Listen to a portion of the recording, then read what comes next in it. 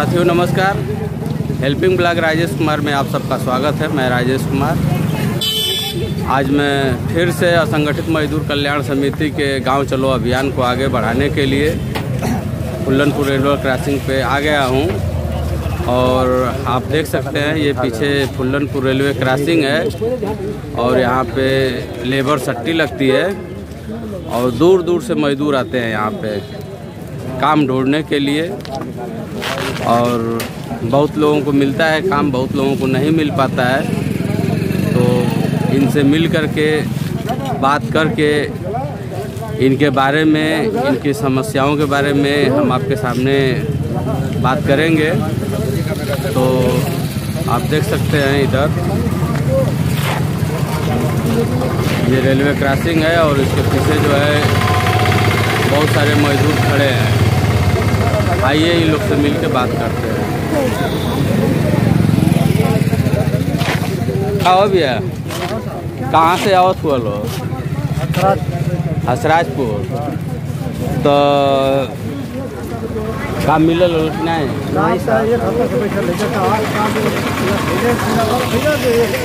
तेज तेज काम ना मिल पाओ सर।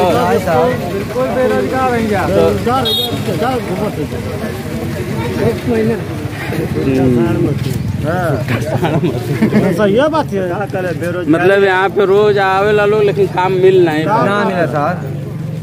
आपके सामने इतना जाता है क्या? एको काम है। हाँ भाई तो अमन का देखते हैं इंजा अच्छा इसके अलावा और अभी आप लोगों को पता है मजदूरों को हालाँकि जब चुनाव आवेला तो गरीब मजदूर के बारे में तो बहुत हाँ। बड़ बड़ बात कहल जाला लेकिन जैसे ही चुनाव पाँच किलो राशन देखे वही में भुलवा दी है वो ना मिला था अब वो जब चुनाव बीत जाए तो वो बंद तो उहे बतिया हम कहते हैं कि जब चुनाव में वोट लेवे के होला हाँ। तो सरकार कोई को होखे वो खाली गरीब मजदूर और किसान का बात करे वो सब ध्यान दे रहा आज जैसे ही चुनाव हुआ बीत जाला। मिला था हमके तो और काट के था उनके तो समा उनके तो समा हम्म। हमारे घर पाँच परिवार है हाँ तो उन लोग को कौन ब्लॉक पड़ी मनिहारी। मनिहारी ब्लॉक।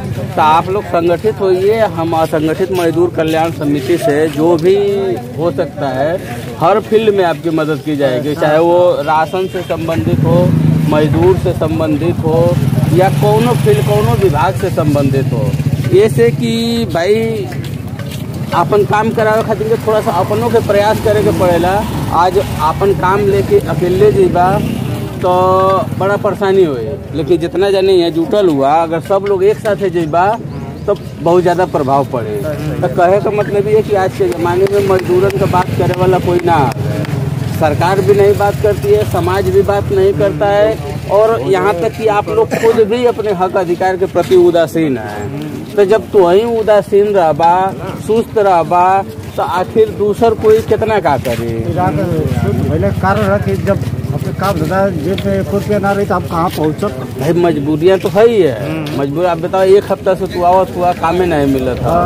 अब यहाँ आवत हुआ तो दस रुपये का में जाएगा में जात हुई अगर साइकिल से आवत होगा तो मुँह जाप के तो अपन आवत आवत ना होगा। तो कुछ न कुछ यहाँ खर्चे होते हुए। लेकिन इला के बाद काम ना मिल पावत हो तो समस्या तो हवे। लेकिन वो समस्या का समाधान पहली बात तो आपको खुद करे के होई। जो आप कर सकत हुआ वह कर सकेला उससे ज़्यादा का आप बरियाई से काम तो पैदा ना करबा। आपका काम यही है कि प्रयास करिए। लेकिन इसके अलावा भी और चीज़ें हैं। श्रम विभाग है श्रम विभाग में रजिस्ट्रेशन करवाया है। सड़क विभाग में पचास पचास रुपया देकर के कार्ड बनवाए। हाँ। हाँ? कुछ ना भाई। हाँ ये ये हुआ कि नहीं पच्चीस रुपया हर महीना है। कहाँ करवाए थे? अपने यहाँ। तो ऐसा न कि श्रम विभाग में जैसे कि यहाँ मजदूरी कराया हुआ ना तो यहाँ पहली बार तो काम ही नहीं मिला था। आ, काम कैले के बाद मजदूरियों लेवे में बड़ा पापड़ बेले के पड़ेगा सही बात है ना?